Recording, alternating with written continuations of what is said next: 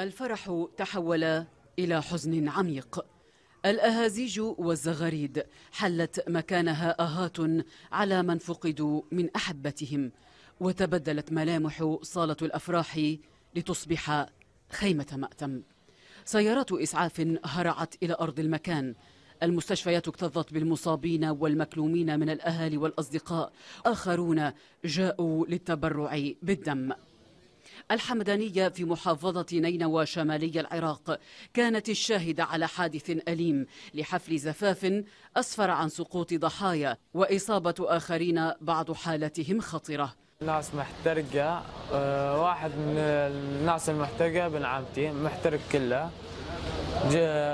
جلد ماله مقشر واقع جلد. ووضعية تعبانة. قاعة الهيثم للأفراح خروج الوضع عن السيطرة.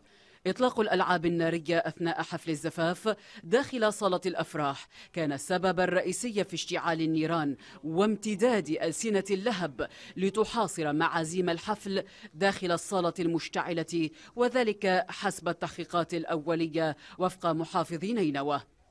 تحرك حكومي. رئيس الوزراء العراقي محمد شياع السوداني استنفر الجهود لإغاثة المصابين وفق ما نقلته وكالة الأنباء العراقية. وزارة الصحة العراقية أعلنت هي الأخرى استمرار وصول شحنات طبية من بغداد إلى نينوى جوا لعلاج المصابين بالحريق. سقف الصالة هوى على الأرض. الجدران الكونكريتية هي الأخرى تداعت من شدة الانفجار. حجم الدمار يبدو كبيرا.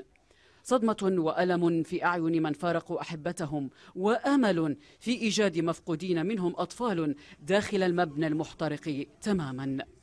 ويطرح العراقيون تساؤلات حول سبب تطور الحريق إلى فاجعة. والتهام النيران سريعا كلما جاء في طريقها لتأتي إجابة الدفاع المدني بأن قاعة الأفراح مغلفة بألواح الإيكوبوند سريع الاشتعال والمخالفة لتعليمات السلامة ما يفتح بابا آخر للمساءلة عن البناء المخالف وغير الآمن الذي يفتقر إلى متطلبات السلامة ويكلف المواطنين في كل يوم فاتورة مثخنة بالموت والمكلومين.